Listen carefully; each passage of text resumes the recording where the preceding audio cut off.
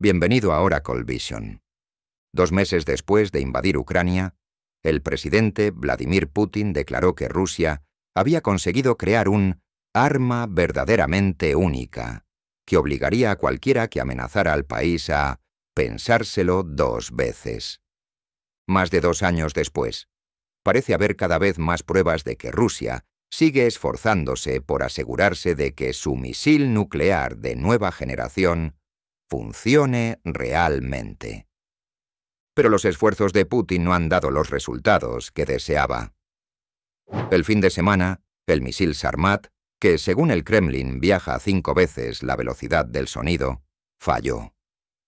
El fracaso de los esfuerzos del ejército ruso ha avergonzado seriamente al Kremlin. El fracaso de los militares rusos ha atraído la atención mundial. Expertos en armamento e imágenes de satélite del lugar del lanzamiento han revelado que el temido arsenal nuclear Satan II del presidente ruso Vladimir Putin ha sufrido una vergonzosa derrota al fracasar en cuatro de las cinco pruebas de misiles. ¿Cómo es posible que este proyecto, en el que los militares rusos llevaban años trabajando, se haya convertido en un gran fiasco? Según analistas de inteligencia de fuentes abiertas, las imágenes por satélite han revelado que la reciente prueba rusa del misil balístico intercontinental RS-28 Sarmat ha terminado en fracaso. El puerto espacial de Plesetsk es un puerto espacial ruso situado en Mirny, en el oblast de Arhangelsk, a unos 800 kilómetros al norte de Moscú. Durante una prueba realizada el día anterior en el puerto espacial de Plesetsk, en el noroeste de Rusia, el misil explotó en el interior del silo de lanzamiento, dejando un gran cráter y causando importantes daños en el lugar de la prueba.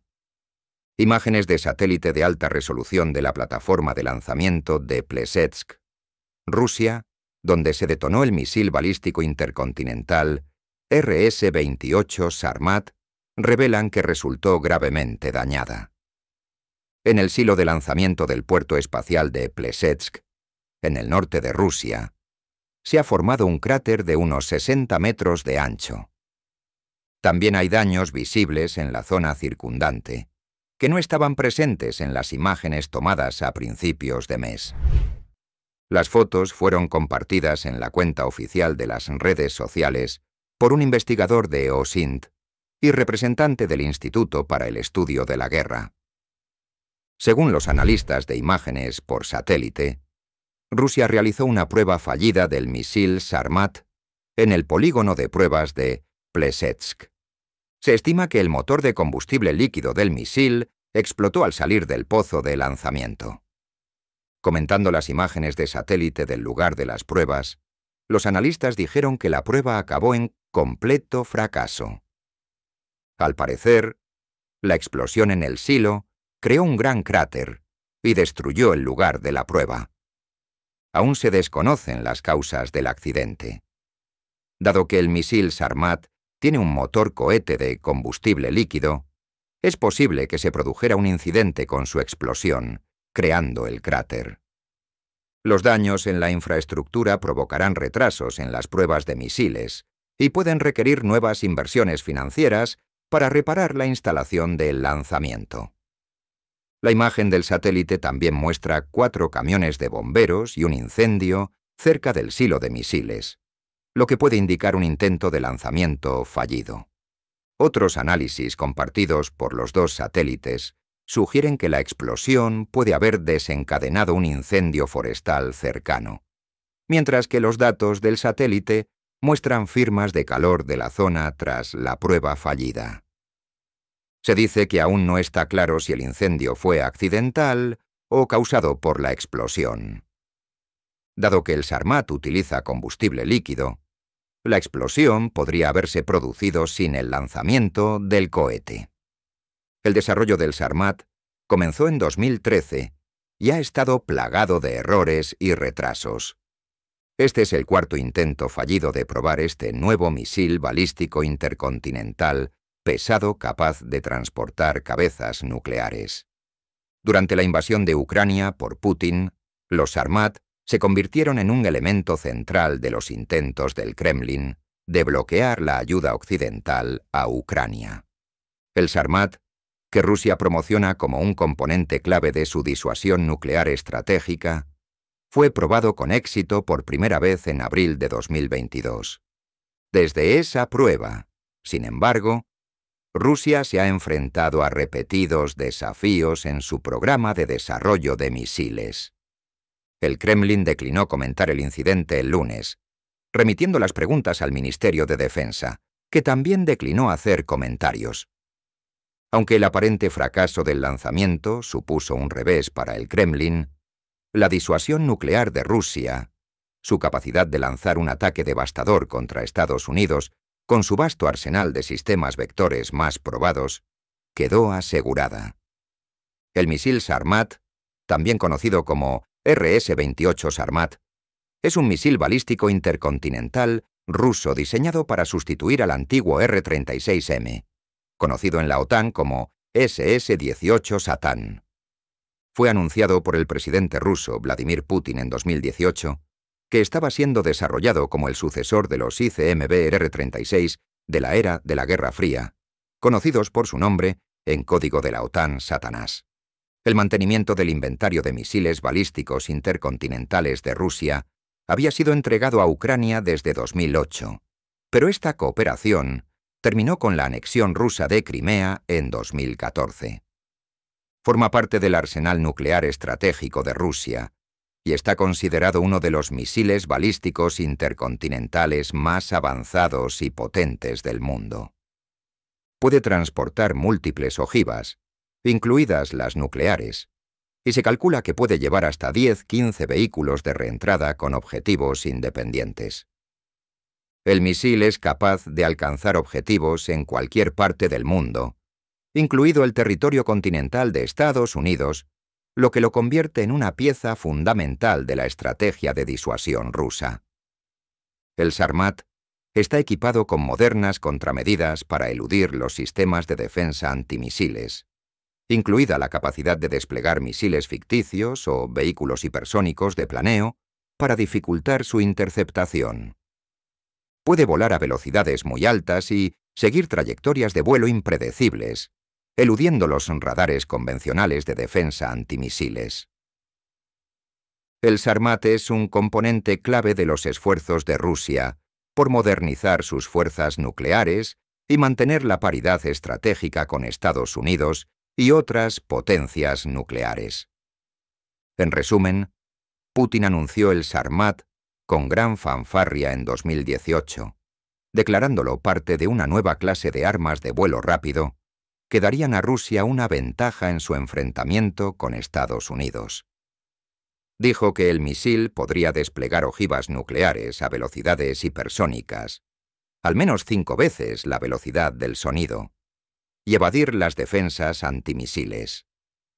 Pero a pesar de todos los alardes, cada vez hay más pruebas de que el misil aún no está listo para una misión.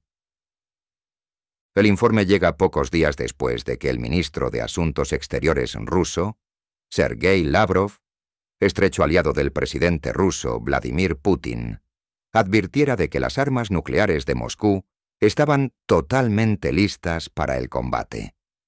Victoria Vedovichenko, codirectora del programa sobre Ucrania del Centro de Geopolítica de la Universidad de Cambridge, declaró, Desde un punto de vista estratégico, parece poco probable que Moscú quiera provocar un enfrentamiento directo con la OTAN, dado el consiguiente cambio en el equilibrio de poder. Sin embargo, entre los círculos de la oposición rusa existe la teoría extrema de que Putin podría querer que estallara un conflicto nuclear, lo que, aunque no está probado, añade un matiz inquietante a las tensiones geopolíticas. El futuro de Ucrania como país libre, democrático y seguro depende no solo de su fortaleza militar, sino también de su integración diplomática y económica con Occidente. Se trata de una visión que requiere resistencia, colaboración y un compromiso inquebrantable, y pone de relieve cómo Ucrania se está posicionando como un actor importante en el panorama más amplio de la seguridad europea. Según la agencia estatal rusa de noticias, Lavrov declaró en la entrevista, Hablamos de líneas rojas. Esperamos que nuestras valoraciones, nuestras declaraciones, sean escuchadas por personas inteligentes y con capacidad de decisión. No es serio decir que si mañana no hacen lo que les pido, pulsaremos el botón rojo. Creo que en tales situaciones los responsables de la toma de decisiones tienen una idea de lo que estamos hablando. Nadie quiere una guerra nuclear, dijo Lavrov. Añadió que Rusia dispone de armas que podrían tener graves consecuencias para los dirigentes del régimen ucraniano. Mientras tanto, el presidente ucraniano Zelensky se reunirá esta semana en Estados Unidos con el presidente Joe Biden. Durante su visita a Estados Unidos esta semana, presentará su plan de victoria al presidente y se reunirá por separado con la vicepresidenta Kamala Harris y el expresidente Donald Trump para recabar apoyos para Kiev. Pidovichenko declaró, La razón es simple, presentar a Ucrania su estrategia de victoria y convencer a EU y a los aliados occidentales para que permitan ataques profundos, dijo Vidovichenko. El plan de victoria de Ucrania está diseñado para realizarse no confiando en la voluntad de Rusia de poner fin al conflicto, sino con el apoyo de los socios y aliados internacionales. Esto subraya el entendimiento pragmático de que la seguridad futura de Ucrania se basa en la cooperación internacional y en una postura de defensa fuerte e independiente. Añadió Vidovichenko. Ucrania busca garantías de seguridad sólidas, similares al Pacto de Defensa Mutua de la OTAN, para situarse firmemente dentro de las estructuras de seguridad occidentales y proporcionar protección a largo plazo contra la agresión rusa.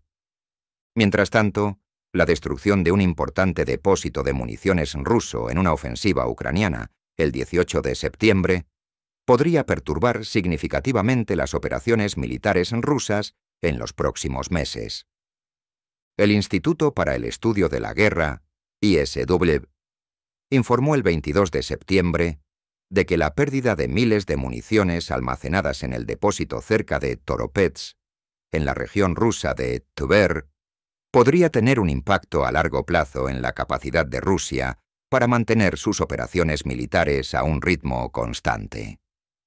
Fuentes de Kiev Post, en los servicios especiales de Ucrania, dijeron que el ataque con drones de la semana pasada contra el depósito de municiones de Toropets fue una operación conjunta de la Inteligencia Militar de Ucrania, HUR, el Servicio de Seguridad de Ucrania, SBU, y las Fuerzas de Operaciones Especiales, SSO. El depósito contenía sistemas de misiles táctico-operativos Iskander, sistemas de misiles tácticos Tochka-U, CABs y misiles para munición de artillería. El coronel Hans Kiviselk, jefe de la inteligencia estonia, declaró que el ataque hizo explotar 30.000 toneladas de munición, es decir, 750.000 proyectiles de artillería.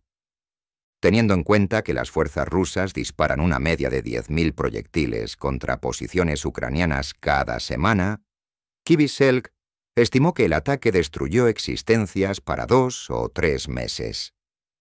Aunque todavía no está claro si las 30.000 toneladas de munición incluyen todos los tipos de munición, está claro que el ataque ha asestado un duro golpe a las reservas rusas.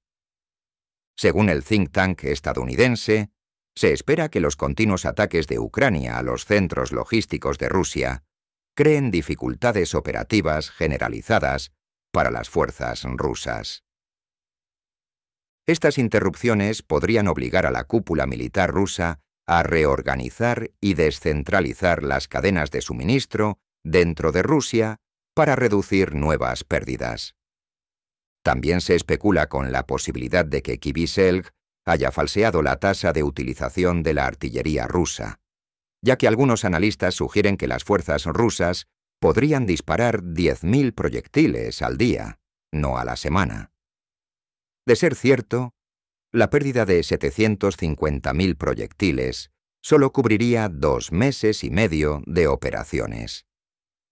El ataque ucraniano contra el depósito de municiones de Toropets, en la región rusa de Tuber, fue el ataque de largo alcance más dañino de Kiev en 30 meses de combates y, posiblemente, el ataque aéreo más devastador contra Rusia desde la Segunda Guerra Mundial. Los testigos describieron explosiones y fuegos apocalípticos lo suficientemente potentes como para dañar los pueblos cercanos y romper ventanas a seis kilómetros de distancia. La inteligencia militar ucraniana informó de que en el ataque se utilizaron unos 100 aviones no tripulados. Las imágenes por satélite mostraron más de la mitad del almacén de 5 kilómetros cuadrados envuelto en llamas. Las autoridades rusas restaron importancia al incidente, pero las mediciones sísmicas registraron 13 explosiones equivalentes a pequeños terremotos. En el almacén se guardaban miles de cohetes de artillería y misiles vitales para el esfuerzo bélico de Rusia. Algunos informes sugieren que podría haber misiles suministrados por Corea del Norte. La destrucción causada por el ataque podría ser una de las mayores explosiones no nucleares de la historia y los analistas advierten de nuevas explosiones si el fuego se extiende a los búnkeres no dañados.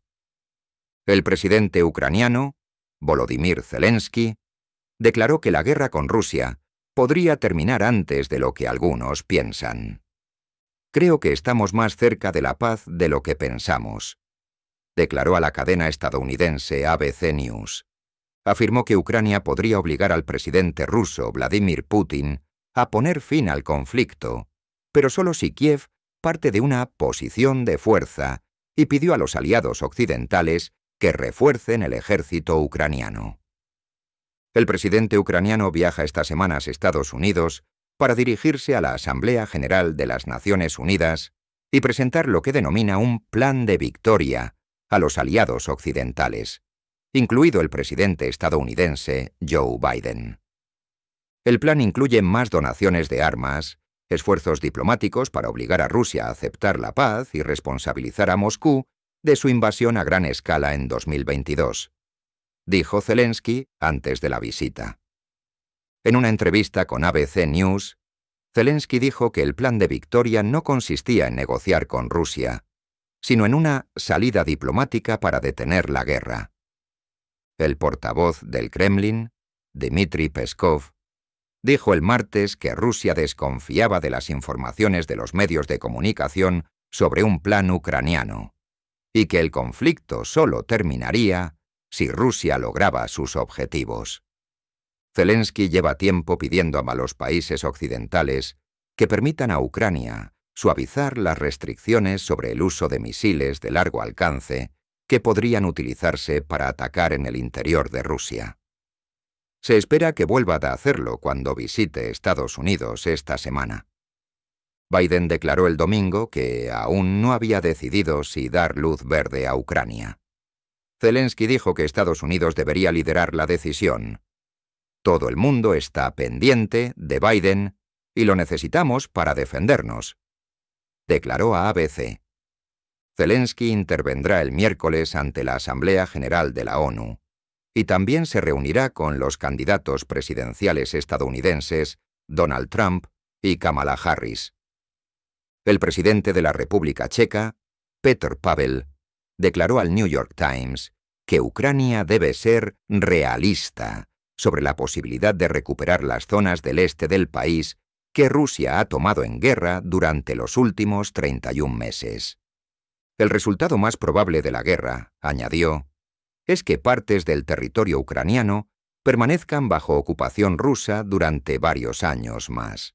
Pavel declaró al Times que la derrota de Ucrania o de Rusia nunca se producirá y que el final del conflicto estaría en algún punto intermedio.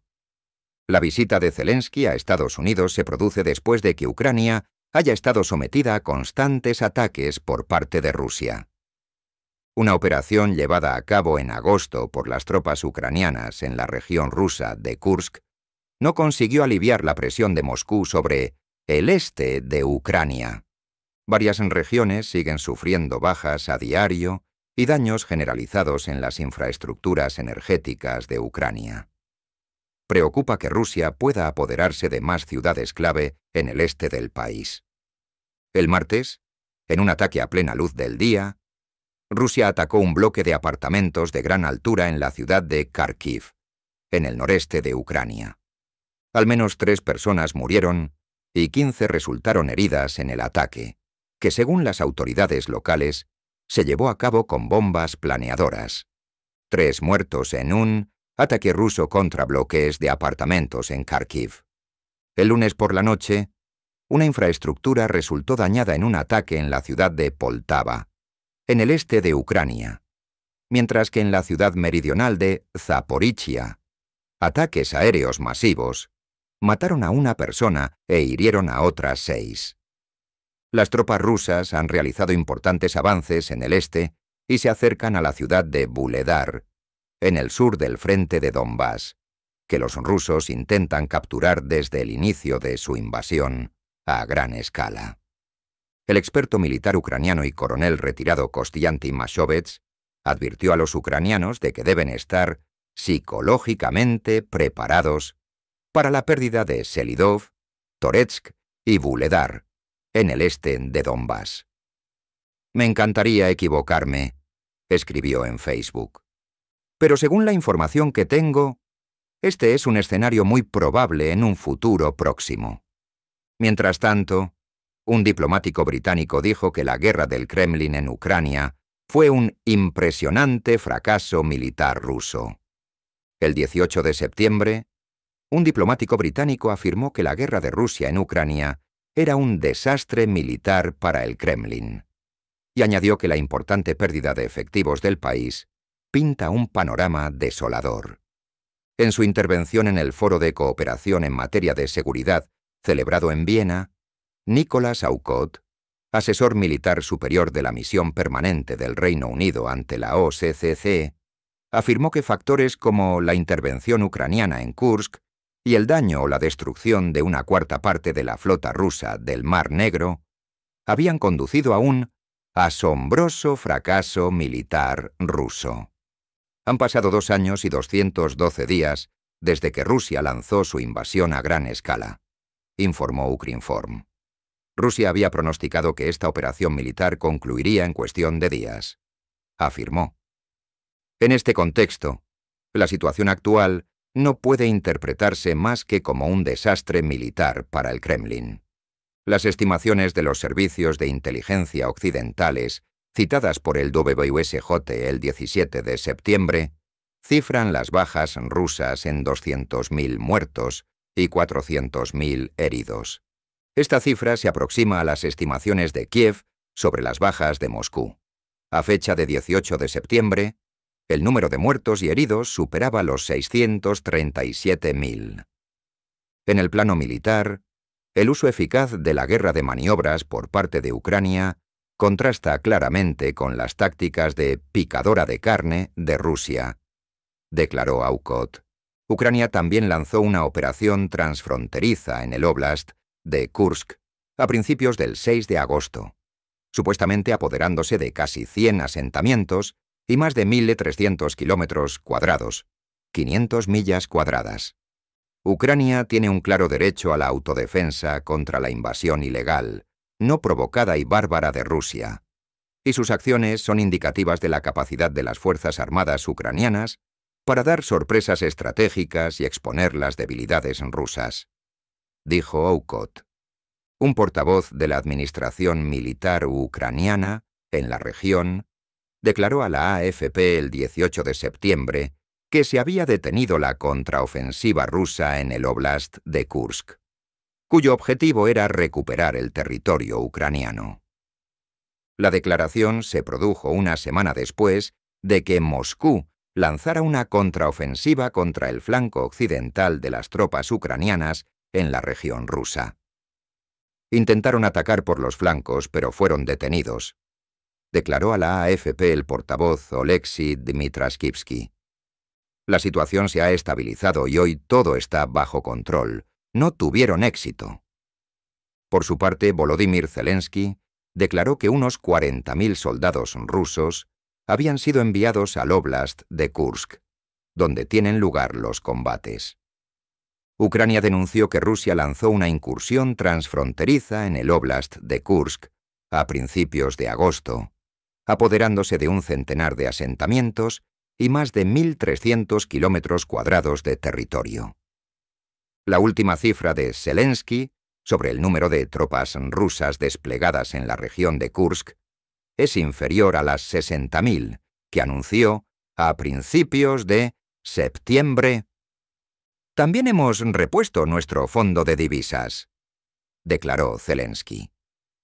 El presidente ucraniano afirmó que las tropas ucranianas habían logrado reducir el potencial ofensivo de Rusia en la región de Donetsk, pero calificó la situación de extremadamente difícil. Continúan los intensos combates en las regiones de Pokrovsk y Kurajove. Según el ejército ucraniano, Rusia lanzó una contraofensiva en la región de Kursk la semana pasada, pero la ofensiva se detuvo el 18 de septiembre. Uno de los objetivos de la incursión ucraniana en la región de Kursk era permitir a Rusia redesplegar sus fuerzas en el frente ucraniano, especialmente en el sector de Pokrovsk. Además de alejar a las tropas rusas de la frontera, Ucrania habría hecho más de 600 prisioneros rusos desde principios de septiembre, causando 6.000 bajas en territorio ruso. ¿Qué opina de este asunto? Estaremos encantados de que nos lo especifiques en los comentarios. Gracias por seguirnos. No olvides suscribirte a nuestro canal, activar las notificaciones y darle a me gusta para apoyarnos.